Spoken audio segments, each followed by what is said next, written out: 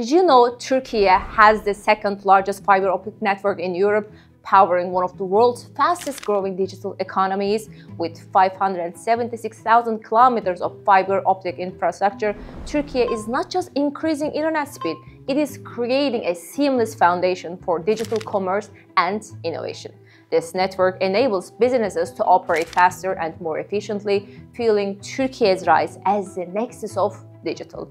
In 2023 alone, Turkey's e-commerce market surged to 77.9 billion US dollars, making it one of the fastest growing digital economies in the world. The same fiber-powered infrastructure supports a thriving fintech ecosystem, AI-driven industries, and smart city innovations, attracting international investments and global partnerships.